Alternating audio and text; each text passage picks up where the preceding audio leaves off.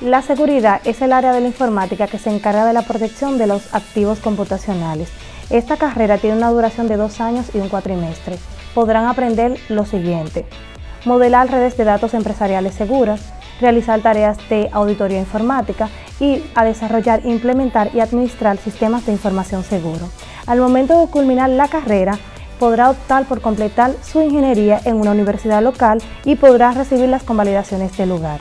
Luego de concluir la carrera, el egresado podrá optar por certificaciones internacionales reconocidas a nivel global, como APLOS, CCNA Security, CCNP Security, Hacker Ético, entre otras.